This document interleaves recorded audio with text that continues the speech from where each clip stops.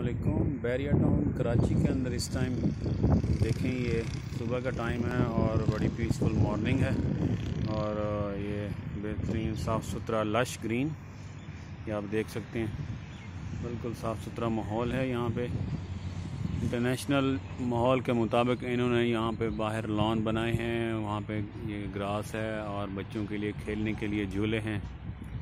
तो ये आप देख सकते हैं, ये टावर अपार्टमेंट्स का एरिया है इस टाइम यहाँ पे बिल्कुल साफ़ सुथरा माहौल है, आप देखें। ये आपके सामने माहौल और ये टावर अपार्टमेंट्स देख सकते हैं ऊपर।